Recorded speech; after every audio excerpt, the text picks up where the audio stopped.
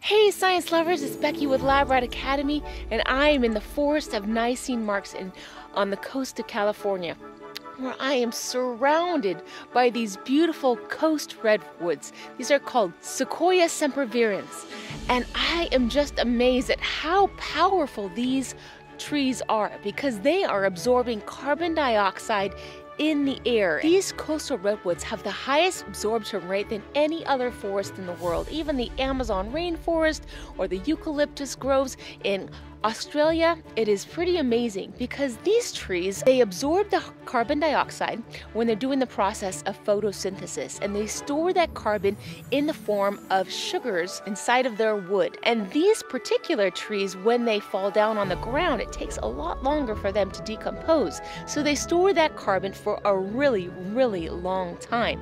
So that's why they have such a high absorption rate of carbon dioxide. If you're wondering where they get that carbon dioxide, it's from us breathing out, from cars, from trucks, from factories around the world, and they release the amazing byproduct of oxygen, which is a perfect trade off for us. Wow, science is so amazing.